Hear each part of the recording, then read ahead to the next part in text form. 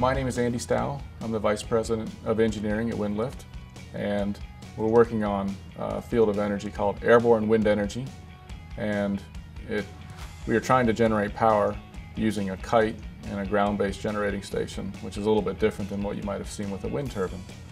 We're developing a mobile uh, platform to use these kites behind me to generate electricity. These kites are going to be used in remote places like Afghanistan, Africa, and uh, Caribbean islands to generate electricity in places where right now it's very expensive to deliver fuel. So this is a model, this is, this is what's called a spreadsheet model in a program called Excel, you may have used Excel. This program is used to try to determine how much power we can expect to generate from our machine, and it, it basically uh, tells us what the performance uh, of our machine is expected to be. As you can see on, on this axis, uh, you have the wind speed, and on this axis, you have the power output um, at different wind speeds. These curves describe the amount of power you can get out at a wind speed of about 20 miles per hour. And we're targeting the maximum amount of power we can get out, which is, which is about a third of the wind speed uh, when we let the wing travel downwind. Um, this model is all built on math. As you can see, there's numbers all over the place and there are embedded equations everywhere in here that help us to determine the, the, the basic performance of our machine before we ever start to design and build anything. The model is actually algebraic in nature.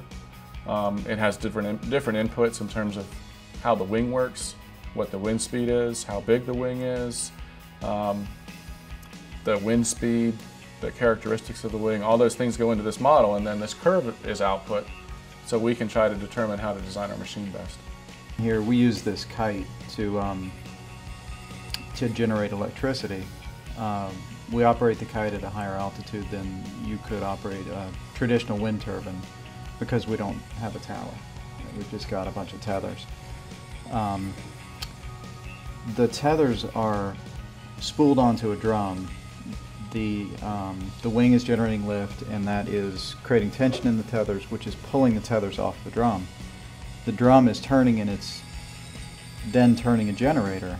Um, generators generating electricity. What we're doing in this plot is calculating how much instantaneous power is coming out of the generator by just looking at the voltage and the current.